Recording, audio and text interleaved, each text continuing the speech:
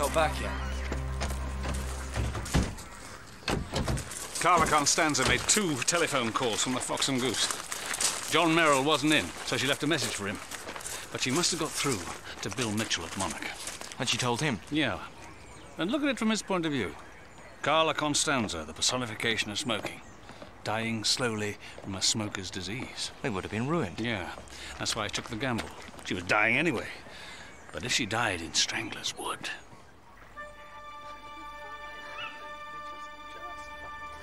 He must have picked her up from the hotel, pretended to reason with her. But in fact, he just wanted her on her own.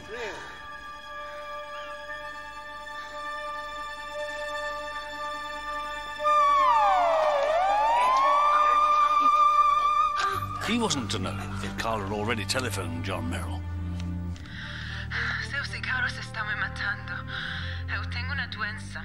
Eu vou encontrar com Bill Mitchell hoje à noite. Você vai pagar. Anna Santa Rosa heard that message. It was in her own language. And it must have told her enough for her to try a little blackmail. Messages deleted.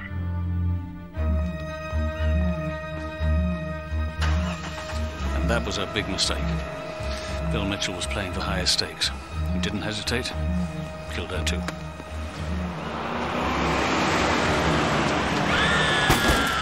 And what about Dr. Acott? Did he kill him? Yes, he had to get rid of Carla's medical records. As a matter of fact, Draycott, or Dr. Acott, was what gave him away. Really? Yeah. Do you remember when you asked him about the name? Draycott? No. Never heard of him. Why do you ask?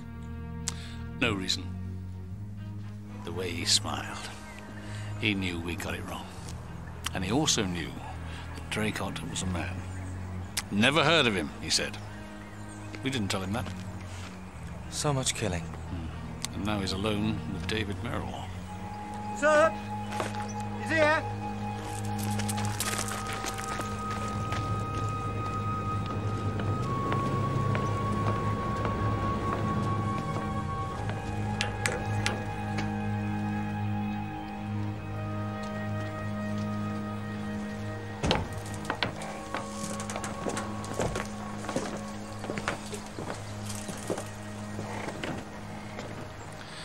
Mr. Mitchell. Where's the boy? I couldn't kill him. He's a complete little shit, but he's a child. Couldn't do it.